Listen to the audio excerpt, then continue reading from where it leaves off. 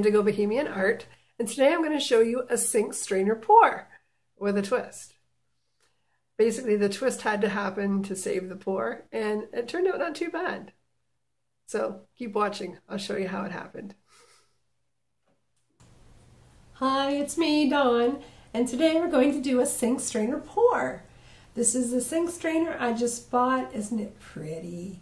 I got it at the JYSK store. It's kind of a knockoff IKEA store. Anyway, I haven't had much success in the past with sink strainer pours because I keep buying sink strainers that don't work well. Anyway, I'm going to layer the paint in this cup to make a dirty cup and then I'm basically going to pour it through the strainer and we'll see what kind of cool effects we get. I have metallic white um, I have a violet, a red, I have a metallic orange, and a bright yellow. The colors will be in the description below the video. I think I'm going to speed this up because it's going to take me a couple of minutes to pour all this paint into the cup. I'll be back in a minute.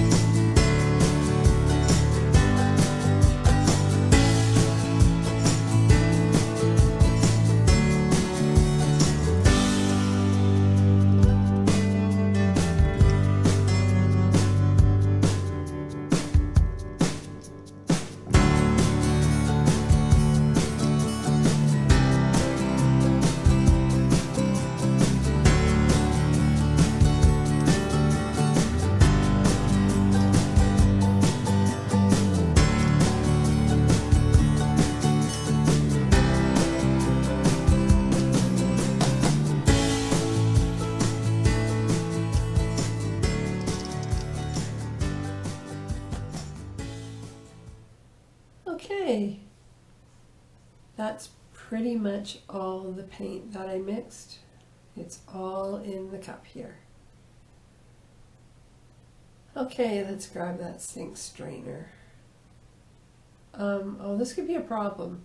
There's no flat part on the base. I'm actually going to have to hold it while I pour the paint through. Well, that's going to make things interesting. Um, Actually, that's a lot of white about to come out through there. I think I'm going to turn the cup around. Okay, here goes.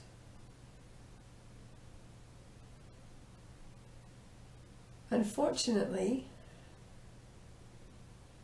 I can't see what's going on because I'm looking through the strainer and so are you, so we won't see how this is working out for a few seconds yet while I finish running all the paint through. I'm just going in circles around the strainer,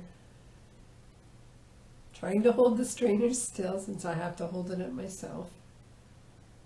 I'll just let that paint finish trickling through. Some interesting colors showing up.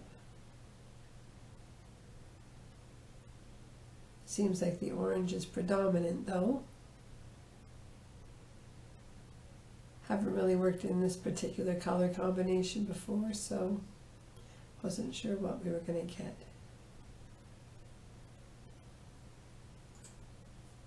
There is definitely not as much definition in this as I had hoped for. Uh, many sink strainer pours look like a mandala or a big daisy or a peacock kind of deal. But even though there's a lot of orange here, I know as I tilt it, some of the other colors will peek through. I'm going to work with the weight of the paint, basically to just keep twirling it until I have the canvas covered and then we'll get the corners. And I'm hoping to open up the design and the colors. Although this is not going to look anything like I had hoped it would. But you can see the paint is stretching and a little more purple is showing through, a little more yellow is showing through.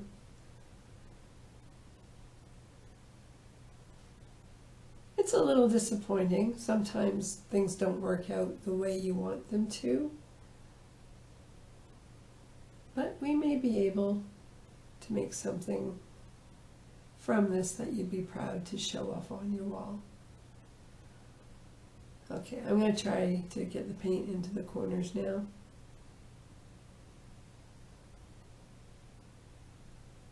I thought I had mixed it just a little bit thinner than usual, but I guess I didn't because it's it's moving slow today. Even though there's some weight to it, it's moving slow because it's a little on the thick side.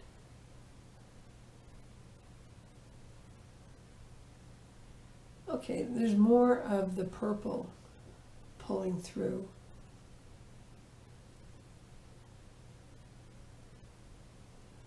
It's a very bright and cheery painting, but definitely not what you would think a sink strainer pour would look like.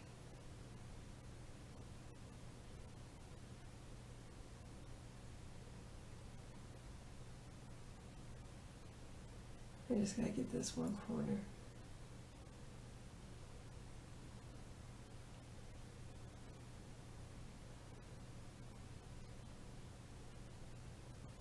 Sometimes the paint moves so slow.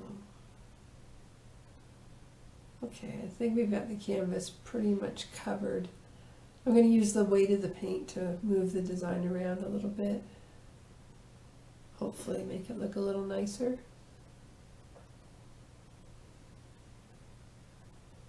There's some little tiny white and pink pinwheel looking designs that I want to move back to the center. Oh, this so does not look like I thought it would. I mean, it's kind of funky with the purple and pink and yellow and orange. But it was not what I was going for. Wow. Sometimes that happens though. There is a, a definite random element to acrylic pour painting. Well, I'm not sure I can do much more with this. In the middle there's a, a just faintly the little pinwheels from the sink strainer pattern, but that sink strainer I'm not using it again. It just didn't work very well. Oh well. Well, that's my sink strainer pour for today.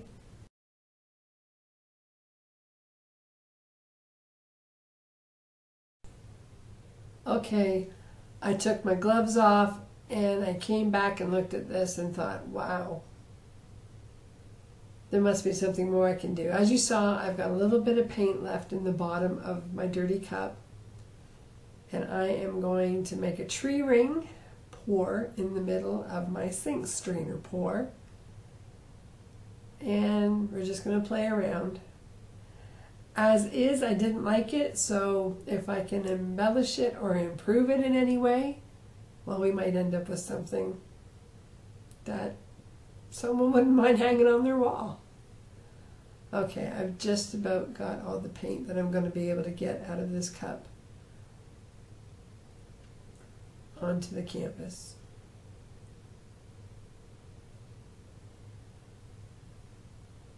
Okay, it's just a teeny tiny tree ring, but I'm going to tilt and try to make it bigger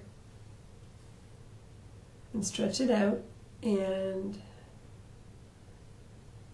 oh interesting I don't know if you can see it but as it's moving in the middle of the canvas the other paint from the first pour is kind of moving with it. So there's some weight to it, and I can actually um, get this paint to twirl a little bit.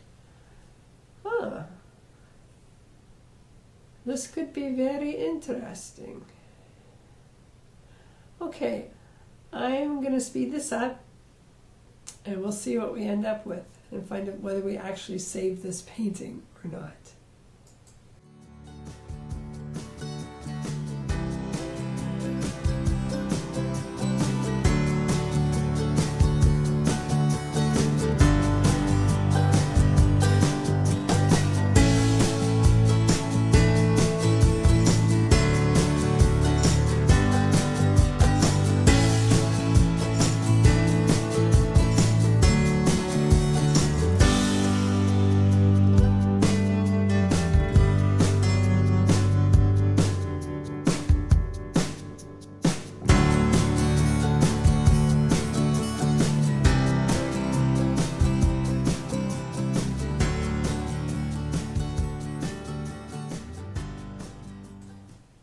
Okay, I'm going to try to get that tree ring now that it's stretched out back into the center of the painting.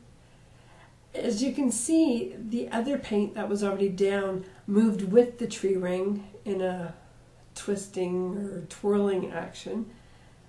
And it's kind of made a really neat looking design on the canvas. Cool. Looks kind of like a rose in the middle there. Here's a close-up of the finished product. There is a fair bit of contrast because some of that purple was allowed to pop back through. You've got some shimmer from the metallic paints. Interesting designs. And then the ring pour in the middle kind of looks like a cosmic rose. So there's a sink strainer pour with a twist.